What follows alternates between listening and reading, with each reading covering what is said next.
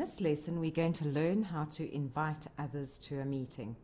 The calendar be- can be used to schedule meetings with others. Outlook will show you their free and busy times for the people you are inviting. You can also book meeting rooms and other resources.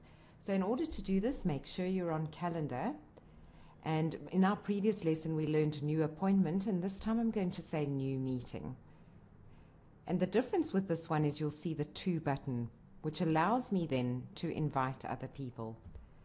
So once again, you can either click on the to button and select all the people that are required, for example. I'm just going to invite one person to this meeting. Click on OK. The subject of the meeting.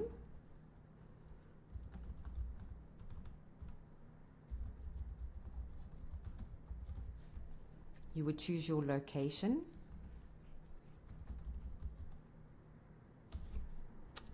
And your start date and end date, and of course your times. Let's make it for Tuesday the 14th. You could also, while you're here, make a note to the people you are inviting.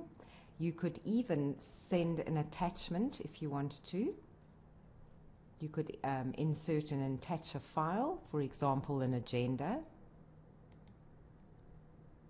Once you've done this, you would need to see if all these people are free before you click on send.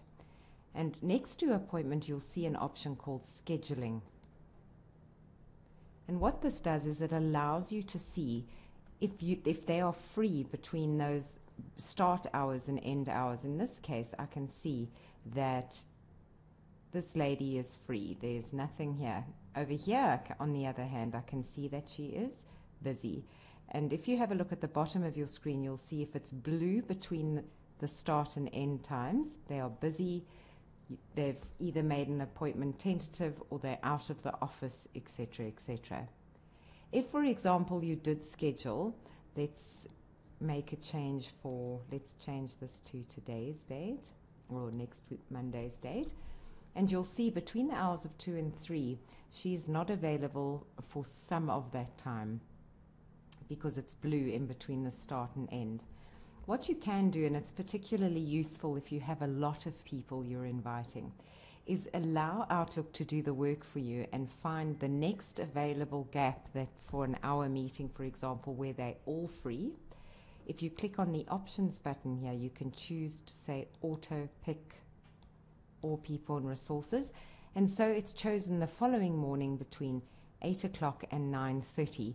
And all the people, had I been inviting a whole lot of people, it would choose the earliest time where all of them are free.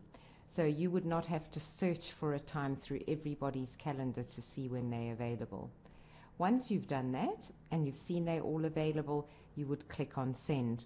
This would come up in their inbox as an invitation, and that is what we're going to look at in our next lesson is how to respond to a meeting notice.